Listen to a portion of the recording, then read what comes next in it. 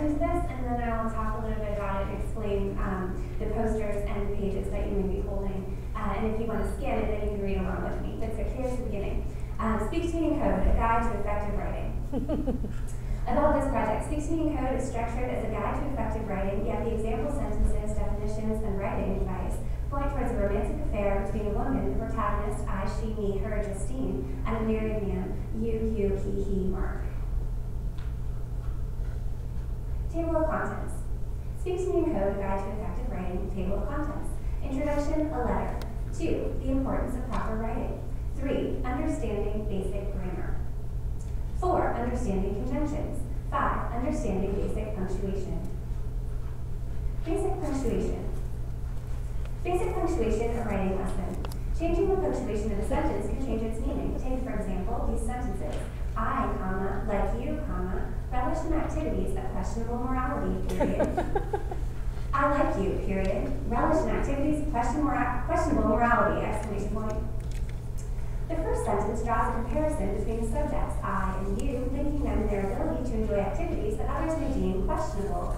The second line of text provides a direct statement followed by a stern command whereas the latter is direct and short term, as if said by a dominant person to one who is eager for such precise linguistic control, the first sentence is friendlier. It places I and you on equal footing, so to speak, and an even-handed conversation with one another. Which sentence do you prefer? A, the commas, inviting and friendly, as in I, like you. B, the period, direct and firm, as in I like you. Okay, so I'm going to read this one, Understanding Basic Punctuation. Um, but while I do that, I'm going to put this up on the screen. Um, so the overall, it's a guide to effective writing, and there's a story um, mixed in there that you, as you read this guide, you start to understand. It feels a little uncanny at first, and then you understand the story that's unfolding. Um, the posters were designed to um, relate to I'm not saying here, I'm saying a conference that has to do with the study of language, um, and it might, you know, relate to uh, linguistic expression. And so there's meant to be sort of an uncanny, is it here, is it not here, is it real, did it happen? Um, there are 12 posters total, and six of them are specific places. So there's, you can see them on that side of the room, the pier, the park, the market, um, the church, the tavern, and the gallery. Um, so those stories take place in particular places, and then there are more abstract places, anywhere, somewhere, uh, everywhere, nowhere. And so if you all put up this code, if you want to scan either from the pier poster or this code, then you can read along with me. Um, or if you want to scan from another poster, you can read another part of the story. Um, so these are QR codes. You probably have a scanner. If you don't, excuse me, you can um, download them from uh, the App Store, just any sort of um, QR code scanner or barcode scanner. Um, so I'm going to read the using basic conjunctions. And okay, using basic conjunctions and, but, so, or. Conjunctions are words that combine sentences. They take two distinct elements and fuse them into one. The way they do this depends on which conjunction is used and how it's used. Let's begin with four conjunctions. And, but, so, or. Take these two distinct sentences, for example. He walked down the hall. I looked at the floor. Nothing about these two sentences suggests that they are in any way related. That is, until we use a conjunction. Using the word and will bring these short sentences into relationship with one another. He walked down the hall, and I looked at the floor. Two universes have now combined. He and I are in separate, are in the same space and time, joined by the conjunction and. Further, there is a connection between he and I, but the exact nature of said connection has not yet been specified. Using and is only one way to combine these sentences. Here's another. He walked down the hall, but I looked at the floor. Whereas the former example, and, positions he and I in the same place and time, the latter adds a bit of complexity because it suggests conflict. But suggests that there's a disconnect here. Something's not easy in this interaction. The reader is left wondering why the first person protagonist, the I who looked at the floor, did so. What is the conflict? Was there somewhere else the protagonist wanted to look besides the floor? The reader looks to the first half of the sentence for examples and finds he. Did the protagonist want to look at him? Now the reader is curious, eager to discover the reason the protagonist looked away. He walked down the hall, a silk tie loose around his neck, but I looked at the floor, afraid could see into my soul with my eyes met his, afraid that all my insides would in that moment burst out.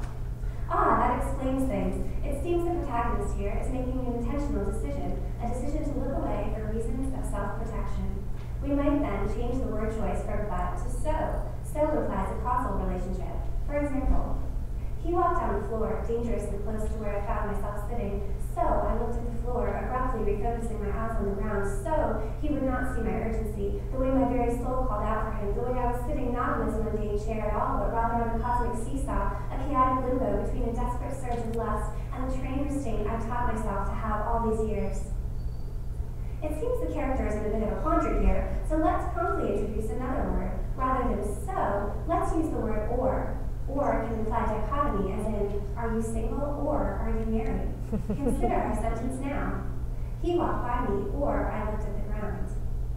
The word or tells us that a statement is true and so the other must not be true. Which one is true? If he walked by me is true, then I looked at the ground cannot be true. He walked by me and I looked at the ground. And I, I'm sorry, he walked by me and I did not look at the ground. I looked directly at him.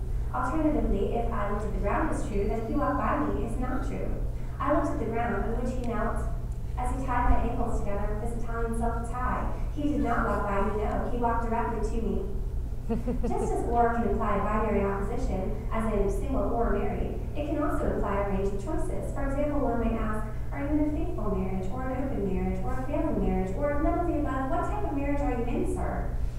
Let's see how this use of or can apply to our example. He walked by me where I looked at the ground, or did I? Did I look at the ground, or did my gaze meet his? Or did our eyes meet, or did I stand up in that moment? Or did I lean over and pick up my books? And if I did, did he notice my A-line skirt? Or did he notice my hands quiver a little as he neared? Or did he notice me at all? Or had he noticed me before? Or was he trying not to notice? And if so, what does that feel like? And all of these things I wondered. Or was I wondering something else? Like what it would feel like to touch his skin, or to look in his eyes, or to end his marriage, or to join his marriage, or to menage a trois, or to seduce his wife, or to co-write a novel on the study of language, or to kiss just once quite slowly and now. All these things I wondered, or did I?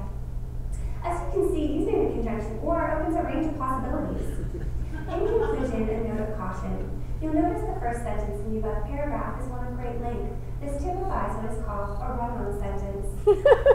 Just as the word and, like the power of love, has the ability to combine distinct elements into one unified and cohesive entity, the sentence, a run-on sentence suggests that perhaps too many distinct elements have already been combined.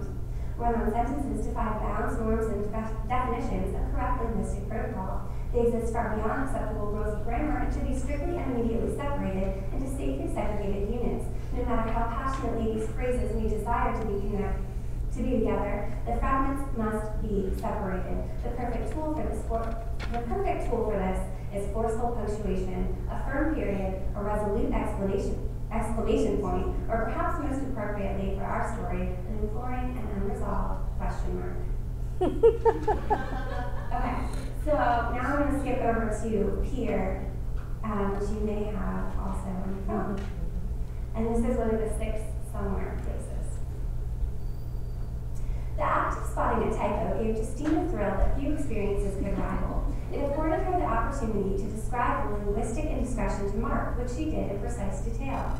So when Justine picked up a pamphlet inviting her to, quote, post conference drinks at the peer, P-E-E-R, she nearly choked with delight. How could anyone mistake pier, P-I-E-R, for peer, P-E-E-R, she wondered. I peer at him through the blinds as he drives up to his office. I do this every morning, or whereas I can only meet him at the pier on special occasions. Adult, adulthood, adultery. this, so this is where the story enters um, the code for writing, and this is um, on linguistic correctness. Adult noun is a person of a certain age, generally between teenager and elder, a person in the prime of life. Adult adjective refers to mature content, generally considered inappropriate for younger people.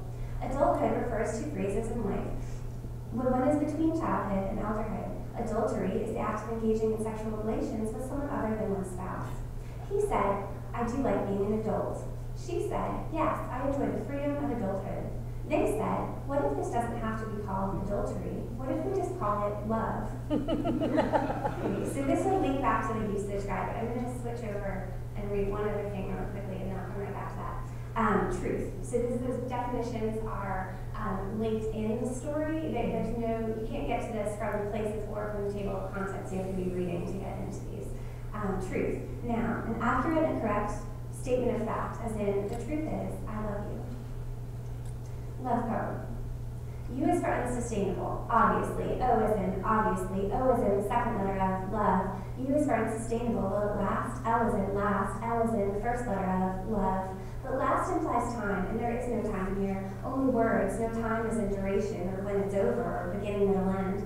Certainly no time is in something as mundane as clock. No, T is only for touch, not for time, only for temptation, only for true. And the third letter in true is U. L as in first letter of love, U as in you. V as in visceral, V as in the third letter of, E as in everything love, E as in the fourth letter of unsustainable is, even that love, don't you see, even that, even the fourth letter of unsustainable is you, because I think everything is love you. Nota bene, I think this might be a love poem. If that requires unsustainable, then bring it on. There is, after all, an alternate spelling to the traditional L-O-V-E. Love is alternatively spelled with a U as in L-U-V, as in I love you. Not traditional, perhaps, not condoned, but nonetheless true. Alright, so back to adult adulthood, adultery. Um, this links into the uh, on linguistic correctness.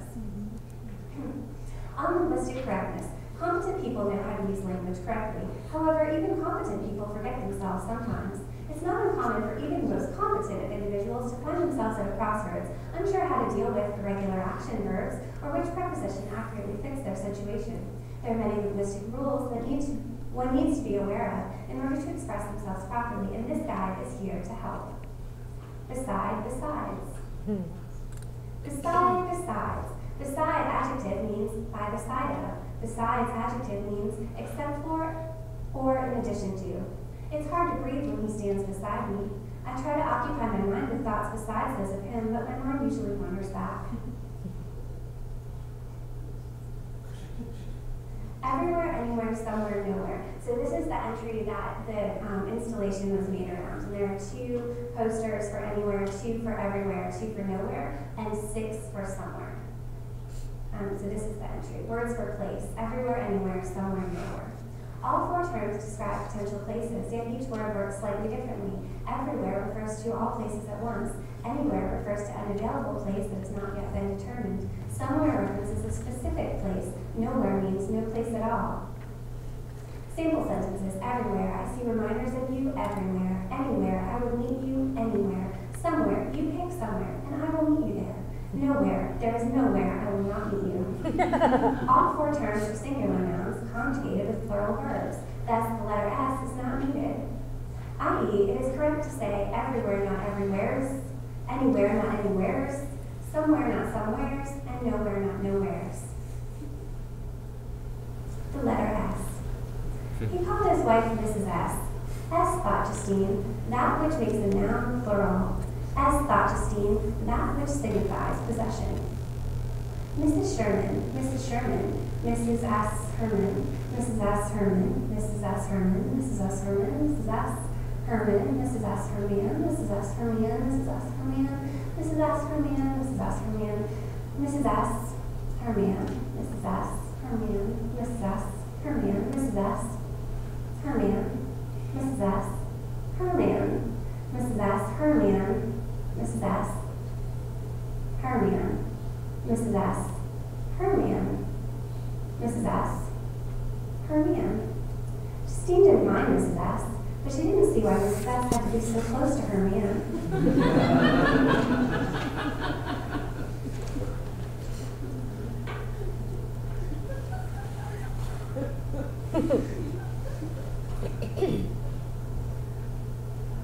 Anywhere. And then she happened upon a curious sight, a white arrow pointing away from a red door. What wondered Justine? It looked like a riddle. Metaphor, noun, something that symbolizes something else. A light bulb is a symbol for an idea. A puzzle is a metaphor for life. A red door is a symbol for temptation. It's a choice. A high-heeled shoe is a symbol for seduction. A wine glass is a symbol for romance. A ring is a symbol for matrimony.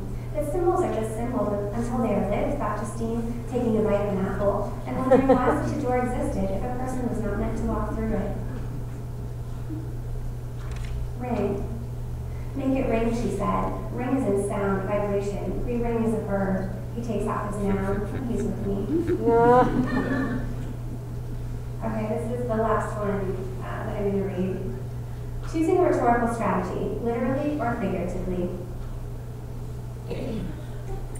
literally or figuratively, all tied up. Figuratively, this expression means that one is too busy, far too consumed with the task at hand to be able to do what is otherwise asked of them. If taken literally, this phrase means something quite different. Consider this scenario, for example. A coworker approaches Justine and asks her to help arrange chairs for the fundraising event. I'm sorry, Justine replies. You know, I almost never say no. But right now, I'm all tied up. If Justine is tied up figuratively, this means that she is too busy to help with the fundraiser. If Justine is tied up literally, this means that she is bound. She is physically restrained. Now let's explore another expression. My hands are tied. Suppose the same coworker asks Justine if she can donate money from the library budget to support the fundraiser. Justine replies that she cannot, stating, quote, I'm sorry, but my hands are tied, unquote. If this statement is interpreted figuratively, it means that, despite her best intentions and her deepest desires, Justine does not have the agency or ability to grant the request. After stating, quote, my hands are tied, unquote, she might also explain, quote, the funds have already been allocated to another purpose, unquote. If Justine's response is to be interpreted literally, however, this means that Justine's hands are physically bound. They are tied together such that she cannot move them. Her statement, quote, my hands are tied, unquote, might be followed by, quote, it feels good when the rope burns me, when it rubs roughly against my skin, unquote.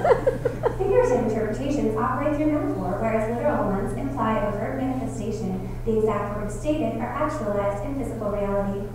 Justine prefers literal interpretations to figurative ones. Thank you.